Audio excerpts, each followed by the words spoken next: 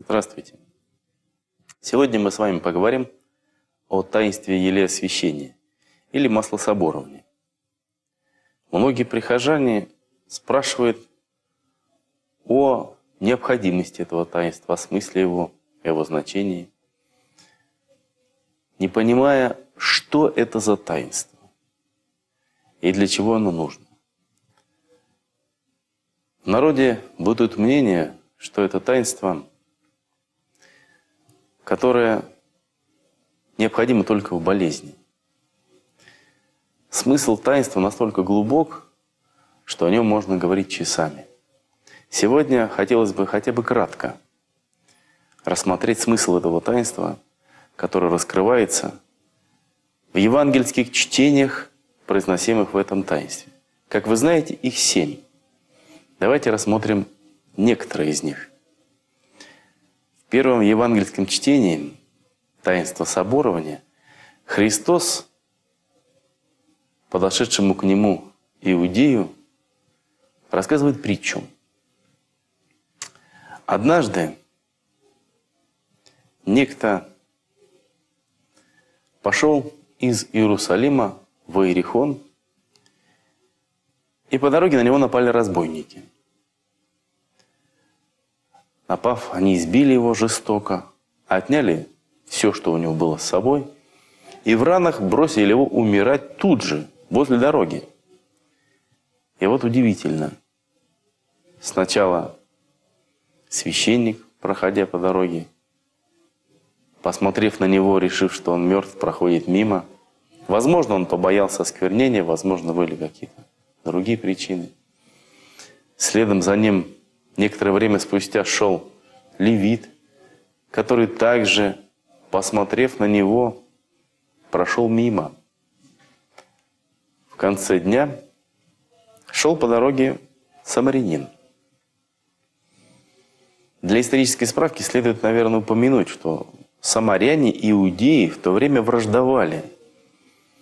И иудеи даже на дороге с самарянами не здоровались.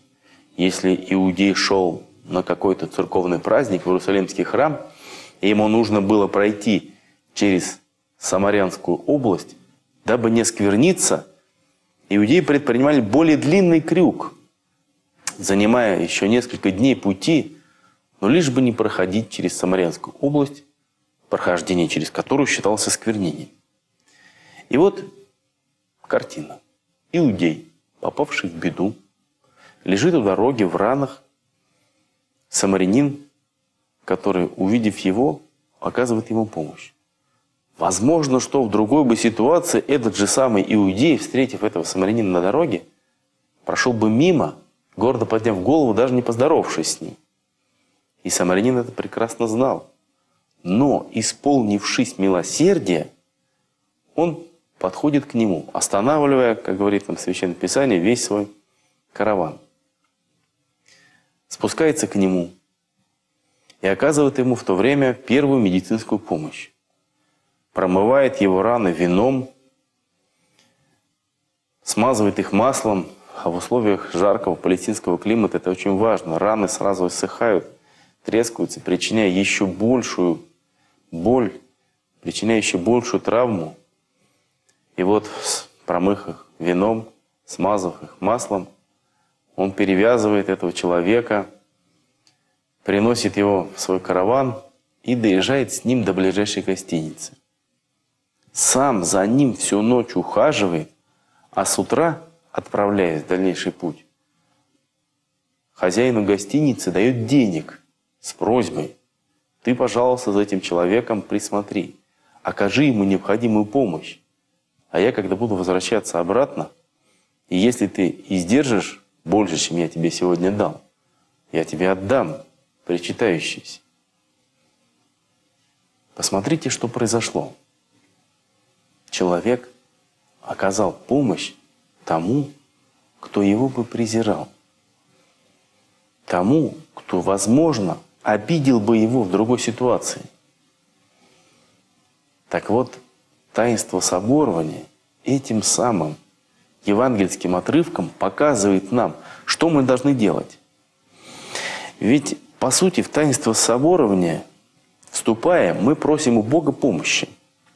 Просим у Бога исцеления своих недугов душевных и телесных. Но что мы даем Богу взамен? Что мы хотя бы можем Ему пообещать? И вот этот евангельский отрывок предлагает нам возможность исправления, возможность общения и милосердия даже к тем, кто нас не любит, к тем, кто нас обижает, к тем, кто, может быть, нам делает плохо. Но если Господь милосердствует к нам, то и мы, в свою очередь, должны милосердно относиться даже к тем, кто к нам относится плохо. Также в этом таинстве есть другое интересное Евангелие, которое также повествует нам о притче. Это притча о десяти девах. И звучит на следующим образом. Однажды десять дев, взяв свои светильники, вышли навстречу жениху. Как повествует нам Евангелие, пять из них были мудрыми девами, пять из них юродивыми, что значит неразумными. И вот вышли они со своими светильниками навстречу жениху в поздний час и стали его ожидать. Здесь нужно как историческую справку привести, что в Палестине был обычай совершать праздники, торжества в позднее время, после захода солнца. Потому что днем было жарко, и радоваться и праздновать было неудобно. И вот все торжества проходили после захода солнца, когда уже начиналась темнота, но и с темнотой прохлада. Женские светильники представляли собой даже женское украшение. А сосудники для светильников были настолько малы, что их как украшение некоторые женщины вешали себе на пальцы.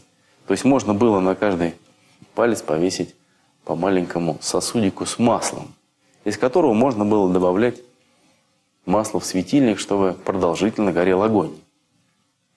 И вот смотрите, в этой ситуации. Мудрые девы взяли с собой про запас на всякий случай этого масла.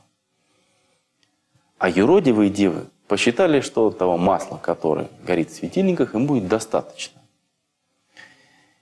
И вот случилось так, что жених задержался. И масло в светильниках кончилось.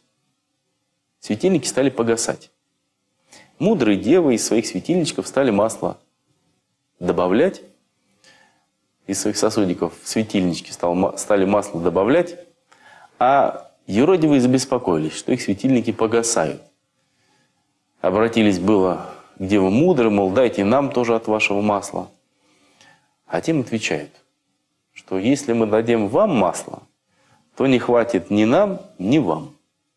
Идите и купите у продающих это масло. Вот юродивые девы отправляются покупать, и в это время приходит жених. Забирает мудрых дев в праздничную залу, а когда приходят юродивые, то уже не находят в месте встречи ни дев мудрых, ни жениха. Бежат, стучатся в двери праздничной залы, но им уже никто не открывает. А жених на их вопрос отвечает им отказом.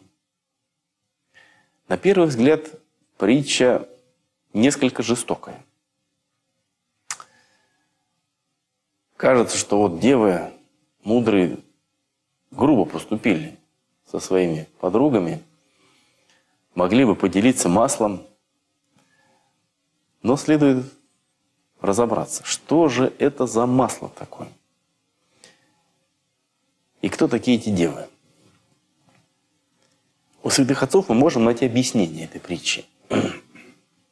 Так вот, девы – это род человеческий. Часть из людей поступает мудро, а часть неразумно. Мудрые люди понимают, что после смерти придется ответить за все свои грехи. А чем мы можем свои грехи заменить? Что мы можем Богу предложить вместо своих грехов? А мы можем Богу предложить свои добрые дела, свои поступки прощения, незлобивости, помощи.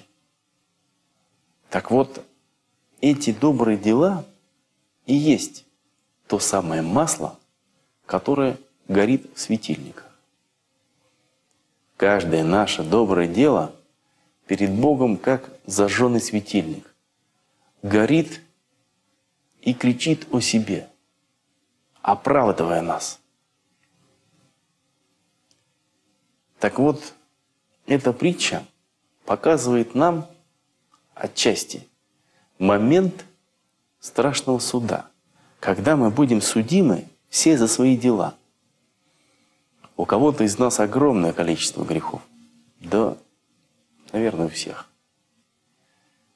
И нам необходимо в течение всей своей жизни собирать это драгоценное масло, собирать добрые дела, чтобы оправдать потом свои грехи. Так вот, чтобы оправдать свои грехи, наш светильник должен гореть, гореть непрестанно в течение всего суда Божьего. Пока мы будем ждать участи своей, пока мы будем ждать встречи с Богом, наш светильник должен гореть. И вот, если ему суждено будет погаснуть, если погаснет этот светильник, а суд еще не будет окончен – значит, добрых дел-то у нас мало. Значит, мы не совершили столько дел, чтобы перекрыть свои грехи. И вот в сравнительной степени мудрые люди совершают добрых дел с избытком, с запасом. А глупые люди, неразумные, или, как говорит Евангелие, юродивые, считают, что вот этих дел, которые я совершил на сегодняшний день, достаточно достаточно, чтобы оправдать всю мою жизнь, и, успокаиваясь на этом, продолжают грешить. Так вот, вернемся к притче. Что произошло? У юродивых дев закончилось масло в светильниках, а мудрые спокойно долили из того масла, которое было приготовлено про запас. То же самое произойдет с нами перед лицом Божьим на его суде.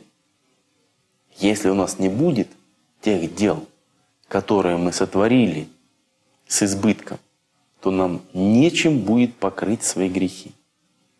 Так вот получается, что всю свою жизнь мы должны стараться скопить как можно больше этих самых добрых дел. Таинство соборования необходимо каждому человеку. Необходимо прибегать к этому таинству регулярно в течение всех дней своей жизни. Особенно, когда мы заболеваем. Ведь апостол Иаков говорит, если заболеет ли кто из вас, пусть призовет пресвитера церковного, да помажет его елеем, и молитва веры спасет болящего. Вот это указание апостола Иакова, указание на совершение таинства собора. В этом таинстве мы просим у Бога прощения и обещаем Богу исправиться. Так вот, хочу всем пожелать желание этого исправления. Потому что желание исправления дает нам возможность спасения. До свидания.